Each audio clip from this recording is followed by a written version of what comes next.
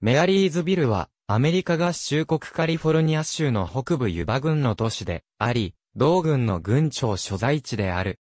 2000年国勢調査で、の人口は12,268人だったが、2010年では12,072人と、わずかに減った。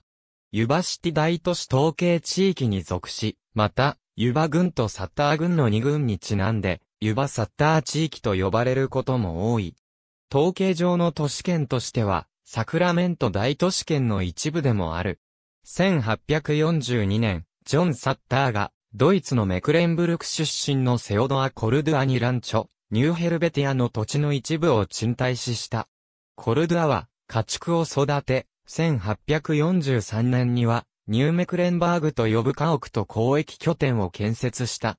この交易拠点と家があった場所は後にメアリーズビルのメインストリートである D 通りの南端となった場所だった。1844年、メキシコ政府がコルドゥアンに彼自身の特許土地であるランチョ本カットを認めた。1848年、コルドゥアの元従業員だったチャールズ・コビロードが、近郊原で富をつかみ、コルドゥアの牧場の半分を購入した。その後の1849年1月、コビロードの妻、メアリー・マーフィーの義兄弟、マイケル・シーナイとウィリアム・フォスターナイが、コルドゥア牧場の残り半分を購入した。同年10月、コビロードはその牧場の大半を、ホセラミレス、ジョン・サンプソン及びセオドア・シカードに売却した。カリフォルニアゴールドラッシュ時代、この牧場は最高現場に向かう、途中の鉱山紙を運ぶサクラメントから、サンフランシスコへの川船が立ち寄る場所になった。メアリーズビル市に入る地点の路側にある看板は、現在でも、近郊原への入り口とされている。1850年、コビロード、ラミレス、サンプソン及びシュカードは、フラン人測量士、オーガスタスルプロンジョンを雇用し、まず、ジュバビル、後に、ユバビルと呼ぶ、町の計画を作らせた。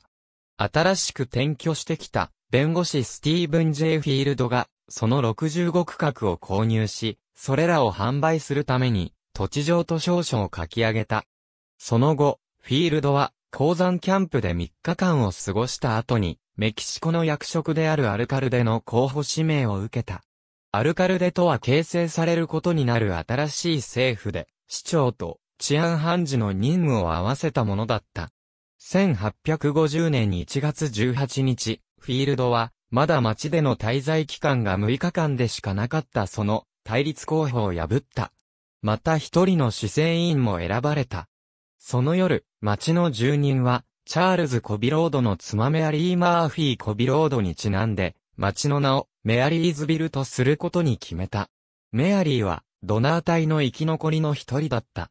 メアリーズビルが、カリフォルニア州議会で法人化された後、初代市長が1851年に選出された。フィールドは、その後、アメリカ合衆国最高裁判所で、最長期間を務めたものになった。1851年には、郵便局が開局した。1853年までに、それまでのテントの町が、レンガ造りの建物に置き換えられた。レンガ造り商業ビルに加えて、製粉所、鉄工所、工場、機械工場、学校、教会が建てられ、日刊紙は2紙発行された。人口はほぼ1万人になった。1857年まで、メアリーズビル市は繁栄する都市だった。ゴールドラッシュ時代の戦略的な場所にあったので、カリフォルニア州でも最大級の都市だった。1000万ドル以上の金が、メアリーズビルの川岸から、サンフランシスコの造幣局に運ばれた。市の創設者たちは、メアリーズビル市が、太平洋のニューヨークになることを想像した。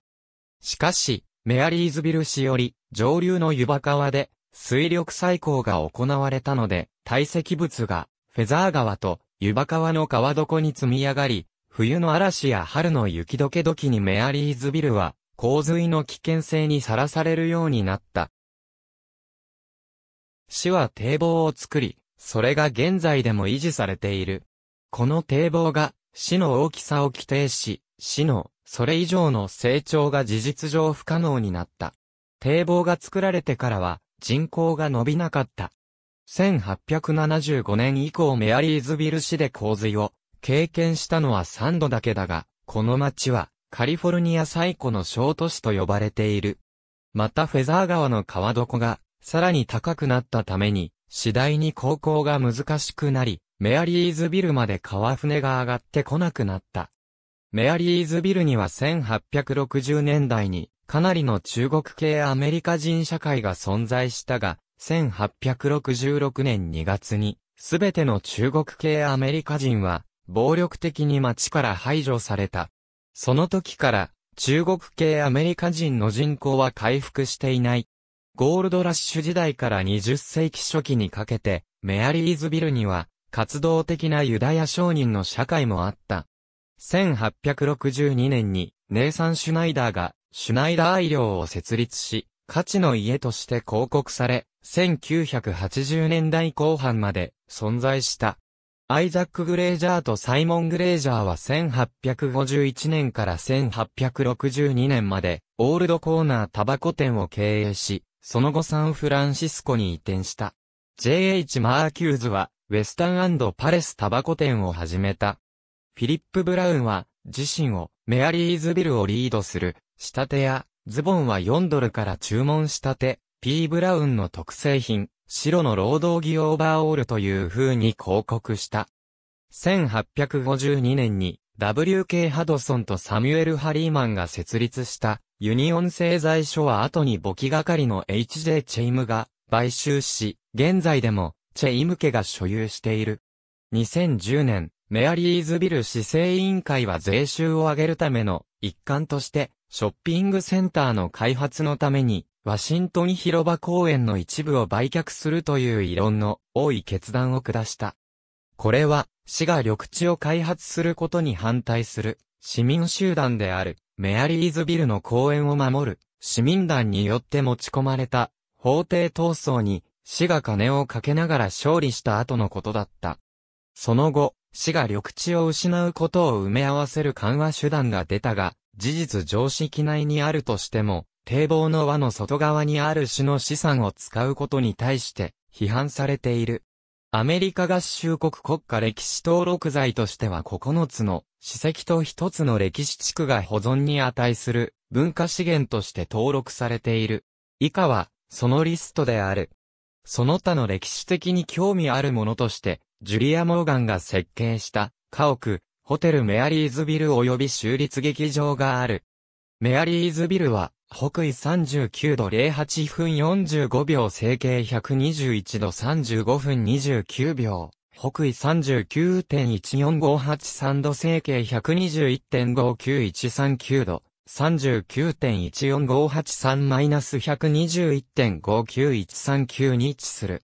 アメリカ合衆国国勢調査局によれば、地域全面積は3.6平方マイルであり、このうち陸地は3.5平方マイル、水域は0.1平方マイルで、水域率は3.31%である。メアリーズビルは、州とサクラメント市の北40マイルにあり、サクラメントバレーの中に位置している。長年、洪水が市の大きな心配事であり続けている。市の南と東はユバ川、西はフェザー川が境界となり、この二つの川は、市の南西で合流している。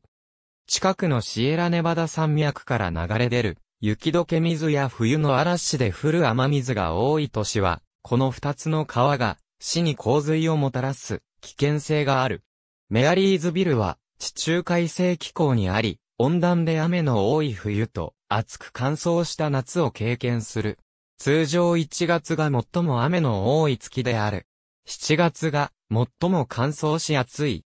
雨季は10月半ばに始まり、4月半ばに終わる。湯葉群では、降雨が多く、濃い地上霧に覆われる頃である。特に、エルニーニョ現象の時の豪雨あるいは冬の暴風雪で、積もった山の雪が春に洪水を起こすことがある。バレエの中では、降雪は稀だが、北からの寒波が雪や氷をもたらす。春の初めは雨が多いが次第に乾燥し、夏が近づくと暖かくなる。4月は春の中でも雨が多い。5月はいくらか降雨があるが、冬の嵐というよりも雷雨の雨である。春の果樹園や畑は草木の花で埋まる。6月から9月は乾燥し暑い季節である。雨はほとんど全く降らないが、稀に南東からのモンスーンで雷雨が起こる。7月と8月は最も暑い月であり、気温は下肢90度台後半に達する。熱波は通常6月から9月に起こる。夏の夜にサンフランシスコベイエリアから来るデルタブリーズが気温を和らげ、湿度を上げる。このデルタブリーズが強いと、サクラメントバレーの中にも海岸の霧を運んでくる。秋は暖かい日々から始まり、次第に冷涼で湿度が上がり、霧が発生しやすくなる。9月から10月半ばの気温は、急速に下がり始め、雨と霧をもたらす。10月半ばから11月は、降雨と霧の発生率が高くなる。以下は2008年の推計による人口統計データである。カリフォルニア州議会では、上院の第4及び下院の第3選挙区に属している。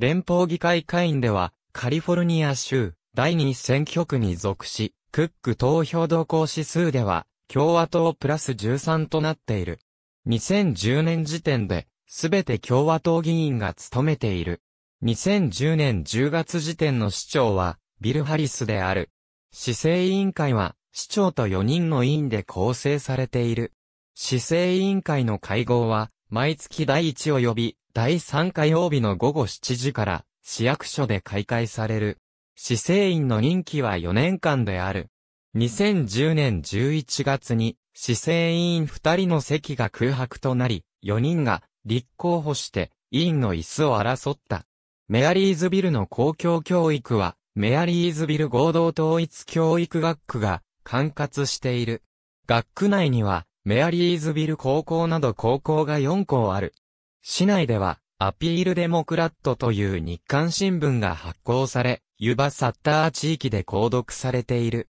小さな地域無料新聞として、テリトリアルディスパッチがある。インターピッドプレスと、ウェンズデーウィルビーという二つの雑誌も市内で印刷され配布されている。サクラメント B も市内で広く販売されている。ウェブの mysytv.com は、地域内の行事をカバーしている。市内には二つの高規格道路が通っている。カリフォルニア州道20号線が東西方向の幹線であり、東のネバダシティから西のユバシティやウィリアムズにつながっている。州道70号線は南北の幹線であり、南のサクラメントと北のクインシーをつないでいる。ユバ軍空港がメアリーズビルの南東3マイル 85km にある。滑走路が2本あり、通常は一般用途に使われている。メアリーズビルには、コミュニティ、地区、及び樹道に分類される15の公園がある。エリス公園メアリーズビルの最も記念すべき、中心的存在は、エリス湖である。この湖は繁茂する緑と側道で囲まれている。南は9番通り、東は B 通り、北は14番通り、西は D 通りに区切られている。エリス湖はかつて見苦しい沼だった。メアリーズビルの婦人改良クラブが、サンフランシスコのゴールデンゲート公園を設計した、ジョン・マクラーレンにこの沼を、美しい湖に変えることを委託したのが1924年のことだった。このプロジェクトは1939年に完成した。最近も、原市長ビル、ハリスの努力もあって、改良が加えられている。2002年10月20日、湖の底、水深7フィートで1台の車が発見された。車の中には、メアリー・ジェーン・グッディングの白骨化した死体があった。メアリーズビル警察署は、グッディングが1981年10月10日に、夫の車を運転して誤って、湖に落下したと考えている。彼女の子供たちは、彼女が犯罪行為の犠牲になったと考えた。しかし、メアリーズビル警察署は、それが犯罪であるという証拠がないという姿勢を崩していない。メアリーズビルの市民、WT エリスジュニアにちなんで名付けられた、この湖では、歩道、ピクニック場、釣り、ペダルボートなどを楽しむことができる。エリス湖では、毎年独立記念日の祭りが開催され、モーターボートやダンボールボートのレースが行われる。若者たちはダンボールとダクトテープでボートを作り、それを沈ませずに湖を渡ることを試みる。2004年に湖の中心にある島から打ち上げられた花火が群衆の中に落下して一人の少女が足の一部を失った後は毎年行われていた花火大会が中止になった。この年は例年より2倍の花火を用意しており、打ち上げがより難しく危険な状態になっていた。この事件に関する裁判が11ヶ月間行われ、カリフォルニア州森林火災予防部がガゼボー島から打ち上げられた花火の弾頭が低高度で破裂し、湖の対岸にいた群衆の中に飛び込んだという報告書を公表した。2007年10月、噴水と照明装置が一新され上級のものになった。照明は37色を発光でき、年間を通して午後8時から深夜まで点灯されている。この回収派ヘルプエリスコ、プロスパーと呼ばれる団体を形成した地元市民集団の努力もあって可能になった。東湖東湖公園は湯葉通り沿い14番と16番通りの間にあって自然の中でスポーツとピクニックを楽しめる。ブライアント野球場、メアリースビル市は、ブライアント野球場を所有しており、そこは、野球チームのメアリースビルゴールドソックスの本拠地である。観客席は3000席あり、シーズン中のゴールドソックスあるいはオフシーズンでは、市から借りることができる。ベックワース川面公園複合施設、ベックワース川面公園は、フェザー川に隣接するビズ・ジョンソンドライブに沿った大型複合施設である。ここには、オフモトクロスコース、ユバサッター青年サッカーリーグが使用するサッカー場、自然地域とフェザー川パビリオン、ライオンズグローブと呼ばれるピクニック地域、ボートの浸水路、ソフトボール場、及び自転車モトクロスのトラックがある。これら施設の大半は借りることができる。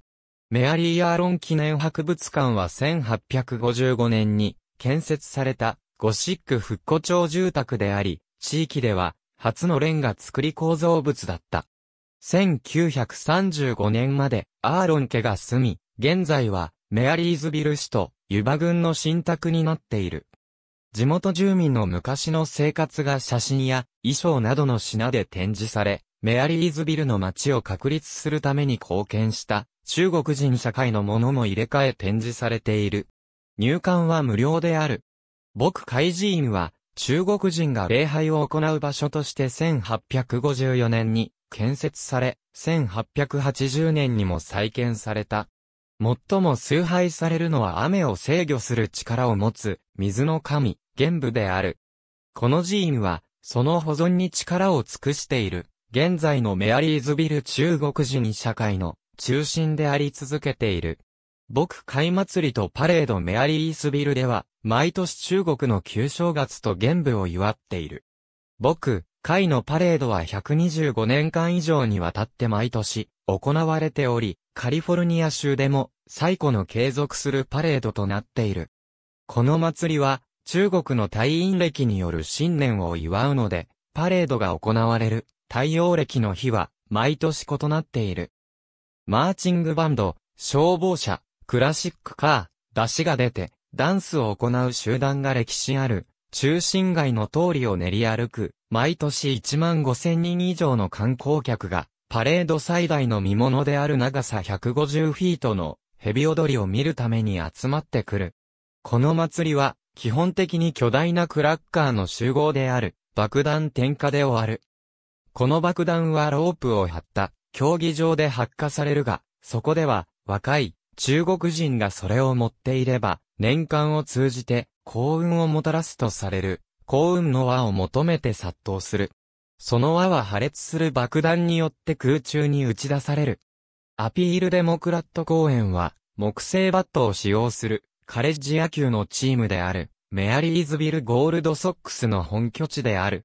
ステートカウンティクイックファクツ US センサスビューロー2011年12月24日閲覧